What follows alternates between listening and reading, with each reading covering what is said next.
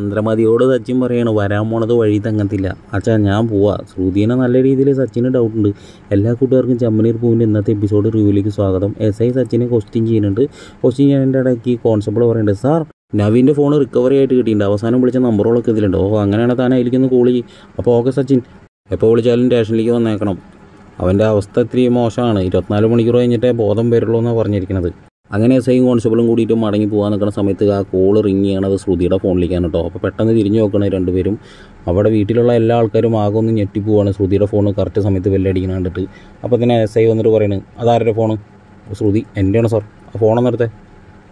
Hello പറയുന്നു പറയുന്നു call എടുത്ത വശം തന്നെ കോൺസ്റ്റബിൾ പറയുന്നു സാർ ഇവരുടെ ശബ്ദം തന്നെയാണ്. അപ്പോൾ എസ് ഐ ശ്രുതിയോട് ചോദിക്കണം അവൻ എന്തിനാണ് നിങ്ങളുടെ ഫോണിലേക്ക് വിളിക്കുന്നത് അപ്പോൾ ശ്രുതി പറയാം എനിക്കറിയില്ല സാർ. അപ്പോൾ ശ്രുതി കടന്ന് പരിഗണന കണ്ടിട്ട് കൂട്ടുകാർ പറയണ്ട ഒരു കസ്റ്റമർ വിളിക്കാമെന്ന് പറഞ്ഞിട്ടുണ്ടായിരുന്നില്ലേ അത് ഇയാളാവുമോ ഒന്ന് നോക്കി നോക്കുമെന്ന് പറയണം. അപ്പോൾ ശ്രുതി ഇങ്ങനെ ഫോൺ തപ്പിയിട്ട് പറഞ്ഞു സാർ ഒരു അൺകോൺ നമ്പർ ഉണ്ട്. ഇത് അയാൾ തന്നെയാണ് സാർ. ഏത് നേരം വിളിക്കും? എനിക്കിപ്പോൾ സമയമില്ല എന്ന് പറഞ്ഞിട്ട് ശല്യം ചെയ്തുകൊണ്ടിരിക്കുകയാണെന്നൊക്കെ പറഞ്ഞിട്ട് ഇങ്ങനെ തള്ളി മറിക്കാൻ കേട്ടോ ഇത് കാണുമ്പോൾ എസ് ഐക്കും സച്ചിനൊക്കെ ഇങ്ങനെ മുഖത്തൊക്കെ ഇങ്ങനെ നല്ല രീതിയിൽ ഡൗട്ട് അടിക്കുന്നുണ്ട്. അപ്പോഴേക്കും ശ്രീകാന്ത് പറയുന്നുണ്ട് അതിന് ഏട്ടത്തിയുടെ beauty parlour ladies beauty parlour അവിടെ എന്തിനാണ് ജെൻസ് വരേണ്ട ആവശ്യം? എന്ന് ചോദിക്കുമ്പോൾ ശ്രുതി ഒന്ന് പരിഗണന അത് അത് അത് ആളുടെ ഭാര്യയ്ക്ക് വേണ്ടിയിട്ടാണെന്നൊക്കെ പറഞ്ഞിട്ട് ഇതാക്കണം. അപ്പോൾ എസ് ഐ പറയണം ഓക്കെ ഓക്കെ. തൽക്കാലം ഞങ്ങൾ പോകണു രണ്ടുപേരും വിളിച്ച് കഴിഞ്ഞാൽ ആ സ്പോട്ടിൽ സ്റ്റേഷനിൽ എത്തണമെന്ന് പറയണം. അപ്പോൾ സച്ചിൻ ഓക്കെ സാർ എന്ന് പറയണം. അവർ പോയതിന് ശേഷം സച്ചിൻ പറയാൻ കേട്ടോ. അവരിപ്പോൾ തൽക്കാലം പോയി. അവർക്ക് നല്ല ബോധമുള്ള ആൾക്കാരാ. മനസ്സിലാവുണ്ടോ?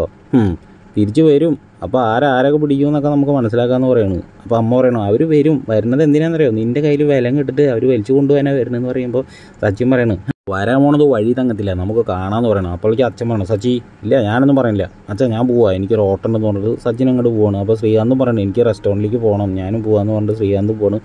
അപ്പോൾ ശ്രുതി പറയാണ് അമ്മേ ഞാനൊന്ന് വാഷ്റൂമിലേക്ക് പോവാണെന്ന് പറഞ്ഞിട്ട് ശ്രുതി പോവുകയാണ് കേട്ടോ. എന്നിട്ട് അവിടെ പോയിട്ട് ഭയങ്കരമായിട്ട് കരയാണ്. അപ്പോൾ കൂട്ടുകാരി വന്നിട്ട് പറയുന്നത് നീ എന്തിനാണ് ഇങ്ങനെ കരയണത്? എനിക്ക് വയ്യ. ഞാൻ ഇതൊക്കെ തുറന്ന് പറയാൻ പോകാന്ന് പറയുമ്പോൾ കൂട്ടുകാർ പറയണം നീ മണ്ടത്തരം കാണിക്കല്ലേ? നീ തൽക്കാലം ഒന്ന് ക്ഷമിക്ക്.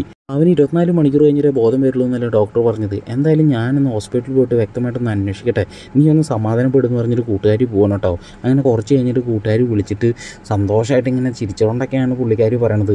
ശ്രുതി നീ ഇപ്പോൾ എന്ത് ചെയ്യുന്നു? നീ ഹാപ്പി ആണെന്ന് ചോദിക്കുമ്പോൾ എനിക്ക് എന്ത് ഹാപ്പി ഞാൻ ആകെ മനസ്സ് തളർന്നുകൊണ്ടായിരിക്കണമെന്ന് പറയുമ്പോഴേ എങ്കിലേ നീ സന്തോഷിക്കാനുള്ള ഒരു ഭാഗ്യമുണ്ട് എന്താ കാര്യം?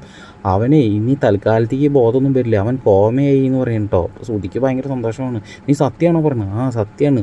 ഇത് കേട്ടൊന്ന് ശ്രുതി തുള്ളി ചാടിയിട്ട് താഴത്തേക്ക് ഇങ്ങനെ ഇറങ്ങി ഓടി വരികയാണ് കേട്ടോ. അപ്പോൾ അമ്മ അവിടെ ഇരിക്കുന്നുണ്ടാവും. അമ്മനെ ഇങ്ങനെ എടുത്ത് പിടിച്ചിട്ട് അമ്മയെ പറഞ്ഞിട്ട് ഇങ്ങനെ കെട്ടിപ്പിടിക്കാണ് എന്താ മോളെ എന്താ ഇതെന്ന് ചോദിക്കാനുണ്ടോ ചന്ദ്രഭാമ. അമ്മേ എനിക്ക് സന്തോഷമുണ്ട്. അമ്മ കാരണമാണ് എനിക്ക് ഇങ്ങനെ ഒരു ജീവിതം കിട്ടിയത് എന്നൊക്കെ പറഞ്ഞിട്ട് ഭയങ്കര സോപ്പിടലാണ്. അപ്പോൾ ചന്ദ്രഭാമ പറയണു മോളെ മോളെ കിട്ടിയത് ഞങ്ങളുടെ ഭാഗ്യമാണ് മോളെ മുന്നേ കിട്ടണ്ടായിരുന്നു എന്റെ മോനെന്നൊക്കെ പറഞ്ഞിട്ട് ഇങ്ങനെ നല്ല രീതിയിൽ അങ്ങോട്ടും ഇങ്ങോട്ടും സോപ്പിട്ട് സംസാരിച്ചുകൊണ്ടിരിക്കും ഇതൊക്കെ കണ്ടിട്ട് നമ്മുടെ രവി ബ്രോ താഴത്തേക്ക് ഇറങ്ങി വരുന്നുണ്ട്. അങ്ങനെയാണ് ഇന്നത്തെ ഒരു ചെറിയൊരു എപ്പിസോഡ് കഴിയുന്നത് കേട്ടോ. അപ്പോൾ ഞാൻ ചുരുക്കി പറഞ്ഞിട്ടുണ്ട് അപ്പോൾ വീഡിയോ ഇഷ്ടമായി നിങ്ങൾ ലൈക്ക് അടിച്ചിട്ട് നിങ്ങളുടെ അഭിപ്രായം താഴെ നിന്ന് കമന്റ് ചെയ്ത് ചാനലും സബ്സ്ക്രൈബ് ചെയ്ത് സപ്പോർട്ട് ചെയ്യുക. നിങ്ങളുടെ സപ്പോർട്ട് നമുക്ക് അത്യാവശ്യമാണ് ഓക്കെ